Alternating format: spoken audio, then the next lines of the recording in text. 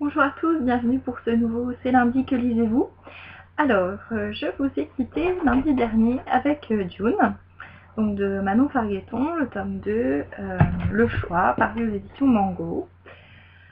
je l'ai terminé seulement hier, donc dimanche, parce que j'ai pas eu trop trop le temps de lire la semaine passée. Ce qui fait qu'en fait j'ai lu quasiment tout le livre dimanche dimanche.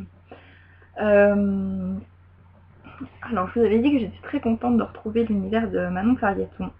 Et ça s'est vraiment confirmé euh, par la suite parce que euh, euh, je crois que dans mon avis du premier tome, j'avais signalé en fait que, que, que c'était très bien, mais qu'il n'y avait pas beaucoup d'action et que du coup c'était un peu mou.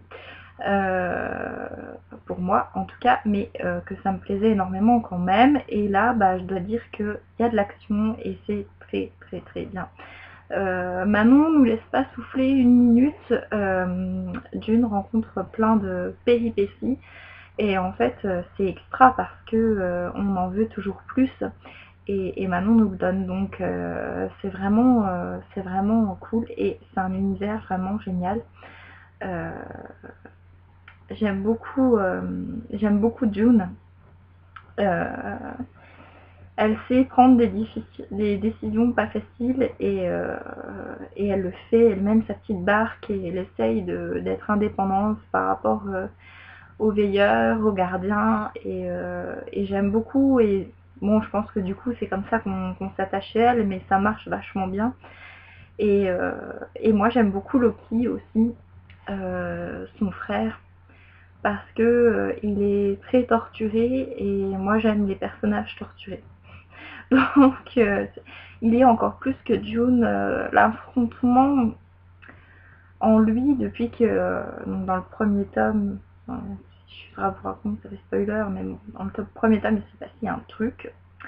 Et, depuis ça, en fait, il y a un affrontement en lui-même qui est du coup, j'aurais bien aimé que, Manon l'aborde plus, même si euh, c'est déjà pas mal. Et la façon dont elle l'aborde, même si c'est peu, ça reflète aussi le fait que Loki essaie de, cacher cette situation à, sa sœur, à June.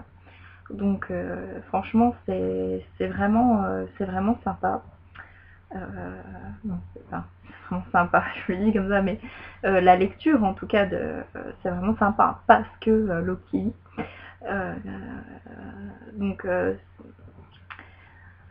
voilà, il y a de l'intrigue, on découvre tout en même temps que, que June. Enfin, moi je me laisse de toute façon généralement complètement porter là où l'auteur veut m'emmener.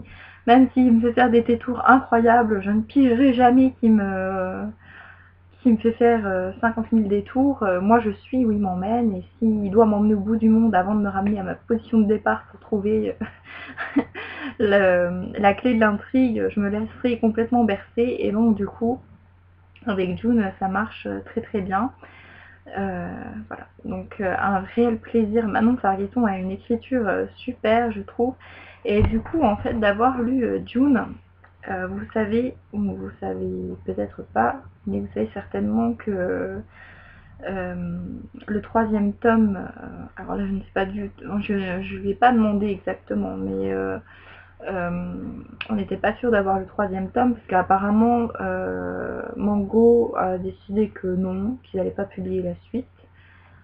et ben franchement, passez quand même pas à côté parce que euh, si vous avez moyen euh, de l'emprunter ou euh, franchement n'hésitez pas et découvrez Manon Fargaton parce que c'est une auteure super. Elle est française, elle est jeune, elle est vraiment super gentille et hum, très sympa quand on la, quand on la rencontre. donc n'hésitez pas. Et du coup, ça m'a vraiment donné envie de, lire sa première publication, aussi libre qu'un rêve. Euh, paru aussi chez Mango, donc euh, du coup je pense que ça sera l'un de mes futurs achats. Euh, en attendant d'avoir le tome 3 de, June. En tout cas, je lui souhaite beaucoup de réussite à, Manon. c'est un petit peu une de mes auteurs chouchou parce que en plus je m'entends quand même assez bien avec. C'est vraiment un plaisir de la rapport à chaque fois. Et, et voilà, et j'aime ce qu'elle fait et tout, donc voilà. Ouais, c'est vraiment une de mes auteurs chouchous et je vous encourage vraiment à, découvrir June. et puis aussi son autre publication. Elle a fait aussi une petite nouvelle pour l'anthologie euh, Cœur de loup parue aux éditions euh, du Riez. Donc euh, moi je ne l'ai pas mais je pense que je demanderai à Laina si elle peut me, la prêter parce que j'ai encore envie de lire du Manon Fargueton même après Dune. J'étais très contente de, lire ce tome et j'ai hâte de lire le, tome 3 et je souhaite de tout cœur de, réussir sa vie d'auteur. Voilà. Et merci beaucoup à elle pour, euh, pour euh, les petits voyages, euh, là où elle nous emmène, c'est super sympa. Et ensuite, j'ai pas encore commencé parce que du coup je voulais commencer hier soir et, et j'ai regardé l'épisode 9 du Trône de Fer avec ma maman et puis après on s'est remis un peu dans, dans Viking. Donc on a fait une petite soirée série. Donc je n'ai pas lu et euh, je pense que ce soir j'attaquerai Le Puits des Mémoires, donc la traque, le tome 1 de Gabriel Katz, paru aux éditions Scrinéo. Euh, c'est un livre que j'ai vite envie de découvrir, hum, je l'ai acheté aux Imaginales en fait, mais euh, j'ai très envie de le découvrir parce que j'en entends que des bonnes choses et surtout de Lanina et de Mandy qui ont toutes les deux vraiment adoré. Euh, et, ayant rencontré l'auteur aussi aux Imaginales, euh, ce qui est aussi super sympa pour le coup, euh, ça m'a donné envie de, découvrir donc le Puits des Mémoires. Du coup, je vous en parle pas trop parce qu'il y en a plein d'autres qui vous en ont parlé. De toute façon, pour l'instant, comme j'ai pas lu une seule miette, même pas un mot, voilà, je peux pas dire grand chose. Ensuite, je lirai, je ne sais pas quoi encore. voilà. J'ai pas vraiment décidé de mes prochaines lectures. Je ne sais pas si je continue sur euh, les auteurs que j'ai vus aux Imaginales. Euh, avec par exemple, euh, je pourrais dire Rue Farfadet, il me tente pas mal. En plus, il n'est pas très gros. Donc c'est de Raphaël Albert.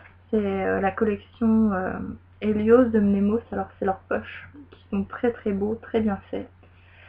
J'aime beaucoup le, graphisme et la qualité qu'ils ont mis euh, dans leur poche. Voilà. Euh, pour un petit mot comme ça. Donc euh, je ne sais pas si je vais dire ça ou, autre chose. Je sais pas vraiment encore choisi. Il y a tellement de livres qui m'attendent, hein. vous voyez derrière, que, je ne sais pas trop. Donc en attendant, je vous souhaite une bonne semaine livresque à tous et à très vite.